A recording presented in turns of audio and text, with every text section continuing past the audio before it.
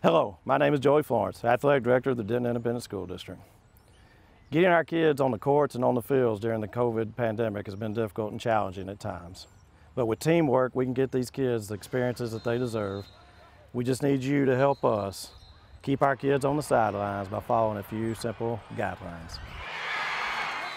If you feel bad, stay home, even if the symptoms are as minor as a headache or a cough or a low-grade fever. Wear a mask. Masks help prevent the spread of droplets that carry the virus. Practice social distancing. Stay at least six feet away from others that are not in your household. And lastly, and possibly most importantly, wash and sanitize your hands. Washing or sanitizing your hands helps kill the virus.